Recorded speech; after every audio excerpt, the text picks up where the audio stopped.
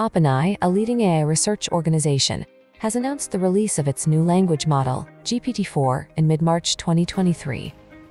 According to Microsoft Germany's Chief Technology Officer, Andreas Braun, GPT-4 will be a multimodal model, capable of working with multiple types of input, such as text, speech, images, and videos. This is a significant development as previous versions of OpenAI's models, such as GPT-3 and GPT-3.5, were only capable of working with text. The multimodal capability of GPT-4 will allow it to process and analyze data from a variety of sources, making it a more versatile tool for various applications.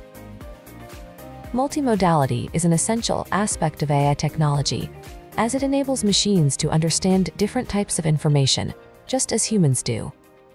In the case of GPT-4, this will allow it to process not only written text, but also visual and auditory information, this will enable the model to provide more comprehensive and accurate answers to complex questions, and potentially enable it to perform more complex tasks such as image recognition, speech synthesis, and natural language processing. GPT-4 will have the ability to create AI-generated videos from text prompts, while GPT 3.5 is limited to text-based responses. GPT-4 will not be much bigger than GPT 3.5 in terms of parameters, but it will have more advanced data management and optimization techniques. GPT-4 will be more accurate and aligned than GPT 3.5 as it will be better at inferring human intentions, avoiding errors and misinformation, and handling context and tasks.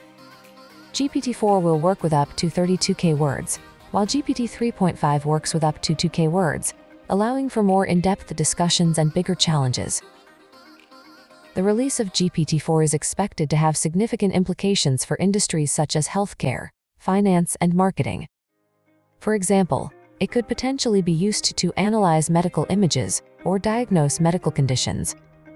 It could also be used in financial modeling or to provide personalized marketing recommendations to customers based on their browsing history or preferences. Another interesting aspect of GPT-4 is its ability to work with multiple languages. According to reports, GPT-4 will be able to receive a question in one language and provide an answer in another. This will make it an incredibly useful tool for global businesses that operate in multiple countries and need to communicate with customers in different languages. In addition to GPT-4, Microsoft has also released a new multimodal language model called Kosmos One in the beginning of March 2023.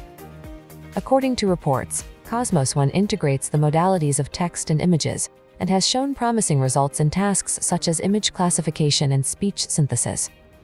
GPT-4 builds upon the capabilities of Kosmos One by adding a third modality, video, and potentially incorporating sound as well. The release of GPT-4 has also put Google behind in the race for AI technology.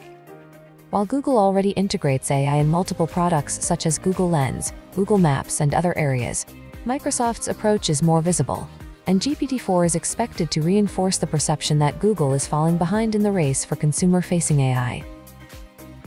In conclusion, the release of GPT-4 is a significant development in the field of AI, and is expected to have far-reaching implications for various industries.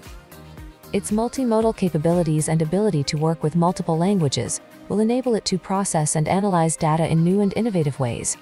Thank you for watching and don't forget to subscribe, like and share for more future updates.